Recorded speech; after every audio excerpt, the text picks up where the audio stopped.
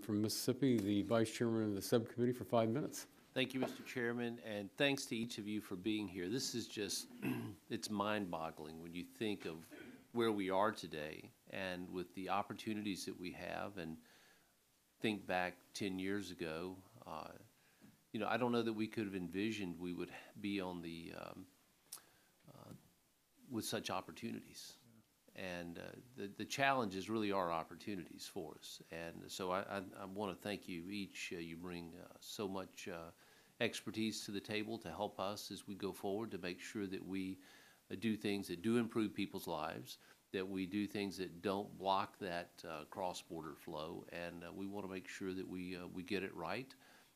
and certainly, there, there are those opportunities we're going to grasp and, and go forward. So uh, Ms. Espinel, you know, you mentioned in your testimony uh, that you indicated how digital trade can improve lives. Explain to me how that works when I go back to my home state of Mississippi. Uh, what should I tell them?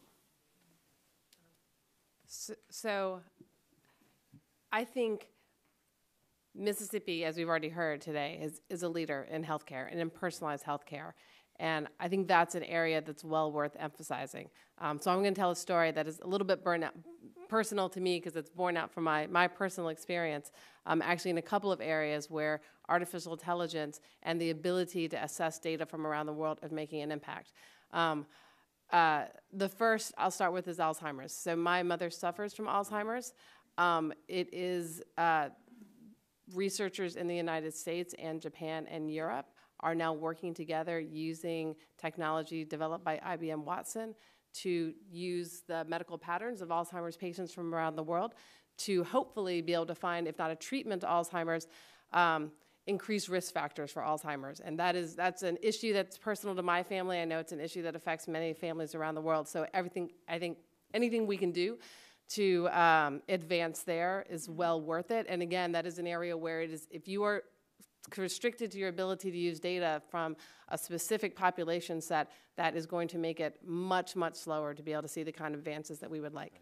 Um, another example um, that is also uh, resonates with me because my own personal experience um, relates to Canada's uh, doctors in Canada. So um, doctors in Canada started uh, monitoring newborn babies, prematurely newborn babies, for signs of risk.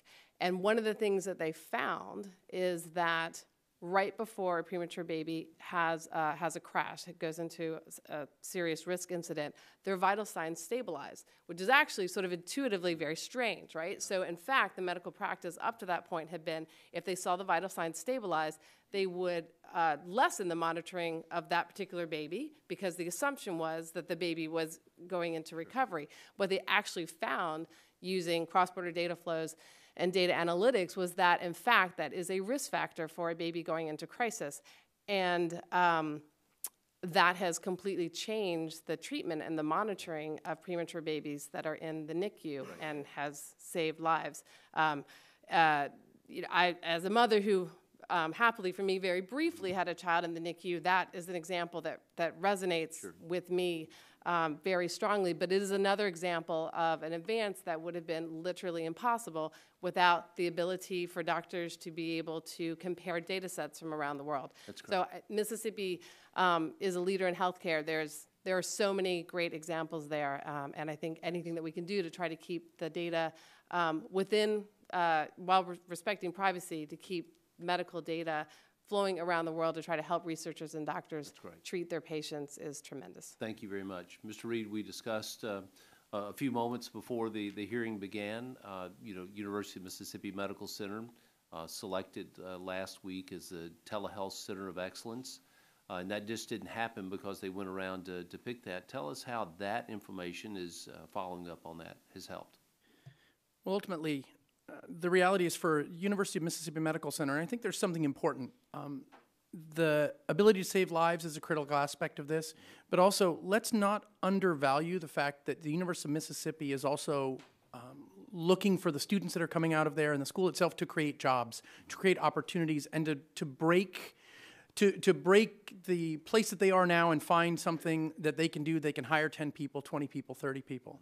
And you start to look at the fact that um, from UMMC, when they're looking to do spin-offs and those students are looking to build the next product that comes out of there, they're going to rely on data from all across the world to find that next solution. The example I gave you. If I've got to figure out what drug works better on this group of people versus this group of people, then I need the data to do so. And so it's important that we find a way to solve the health problems that we've raised. But let's not undervalue the fact that part of what we're also doing is looking to promote entrepreneurship. And entrepreneurship comes from information. All of us in the business case, we know that we talk about asymmetry, information asymmetry. We lose out when we have information asymmetry. The more information they have, the better the product they can make, the more jobs that they can build. And I think we should remember that part of this is using data to spur entrepreneurship as well as life saving. Great, thank you, Mr. Reed. My time's expired. Mr. Chairman? Well, thank you. The